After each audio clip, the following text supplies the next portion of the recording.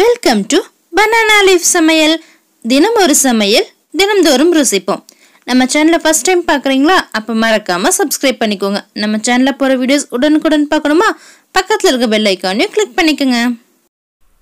இன்றைக்கி நம்ம கிச்சனில் ஒன் பாட் ரெசிபி தான் பண்ண போகிறோம் அது என்னென்னா புரோட்டீன் ரொம்ப அதிகமான சன்னா பிரியாணி. அது எப்படி செய்யலான்னு சொல்லி பார்க்கலாம் வாங்க.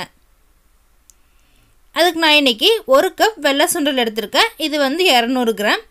இது வந்து நைட்டே ஊற வச்சுக்கோங்க. இது ஒரு எட்டு மணி நேரம் நல்லா ஊறணும். இப்போ இதை வாஷ் பண்ணி நல்லா ஊற விட்டுருங்க. இப்போ பாருங்கள் நம்ம சுண்டல் நல்லா ஊறிடுச்சு இப்போ இதை வந்து குக் பண்ணிக்கலாம். அதுக்கு ஒரு ப்ரெஷர் குக்கரில் இந்த சுண்டல் நான் ஆட் பண்ணிக்கிறேன். மூடி போட்டு மீடியம் ஃப்ளேமில் வச்சு அஞ்சு விசில் வச்சு குக் பண்ணிக்கோங்க.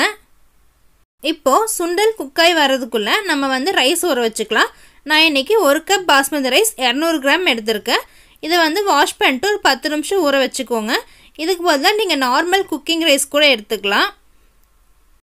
இப்போ ஒரு குக்கரில் ஆயில் ரெண்டு டேபிள் ஸ்பூன் ஆட் பண்ணிக்கோங்க. இப்போ தாளிக்கிறதுக்கு ஒரு பே லீஃப் ரெண்டு கிராம்பு ஒரு இன்ச் பட்டை ரெண்டு ஏலக்காய் ஒரு அன்னாச்சி பூ. இது எல்லாத்தையும் சேர்ந்து தாளித்து விட்டுறலாம். இதெல்லாம் சேர்த்தும் போது பிரியாணி நல்லா மனமாக இருக்கும். இதில் வந்து ஒரு டீஸ்பூன் சோம்பு ஆட் பண்ணிக்கோங்க. ஒரு டீஸ்பூன் சீரகம். இது எல்லாத்தையும் நல்லா வணக்கி விட்டுருங்க.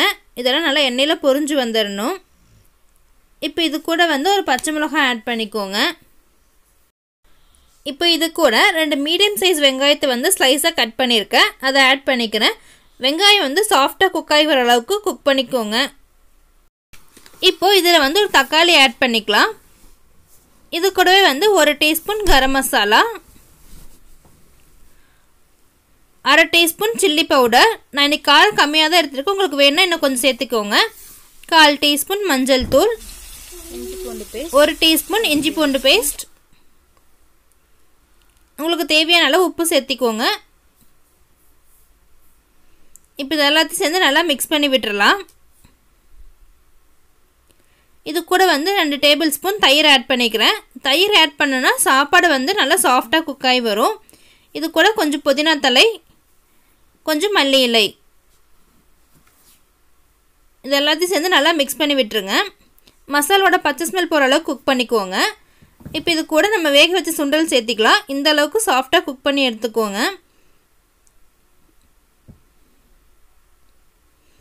இப்போ இது எல்லாத்தையும் மிக்ஸ் பண்ணி விட்டுறலாம்.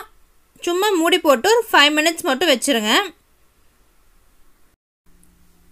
இப்போ பாருங்கள் நம்ம போட்ட மசாலாவோட நம்ம சுண்டல் வந்து நல்லா குக் ஆயிடுச்சு இப்போ இது கூட வந்து தண்ணி ஆட் பண்ணிக்கலாம். ஒரு கப் ரைஸ்க்கு ஒன்றரை கப் தண்ணி ஆட் பண்ணணும். நான் இன்றைக்கி சுண்டல் வேக வச்ச தண்ணியை ஆட் பண்ணிட்டேன். இப்போ வந்து தண்ணி நல்லா கொதிச்சிருச்சு. எப்போவுமே தண்ணி கொதிச்சதுக்கு அப்புறம் தான் வந்து ரைஸ் ஆட் பண்ணும் இப்போ நம்ம ஊற வச்சிருந்த ரைஸ் இது கூட ஆட் பண்ணிக்கிறேன். ரைஸ் ஆட் பண்ணதுக்கப்புறம் ரொம்ப கலக்கி விடாதீங்க. லைட்டாக கலக்கி மட்டும் விடுங்க இல்லாட்டி ரைஸ் வந்து உடஞ்சிரும். இப்போது இதை வந்து மூடி போட்டு லாக் பண்ணிக்கோங்க.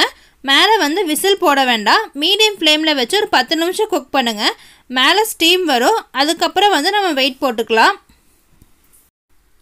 இப்போ பாருங்கள் ஸ்டீம் வர ஆரம்பிச்சிருச்சு. இப்போ வந்து விசில் போட்டுக்கலாம். போட்டுட்டு கேஸ் ஆஃப் பண்ணிவிட்டு ஸ்டவ்லேயே வந்து ஒரு பத்து நிமிஷம் வச்சுருங்க. அதுக்கப்புறம் நம்ம வந்து ஓப்பன் பண்ணலாம்.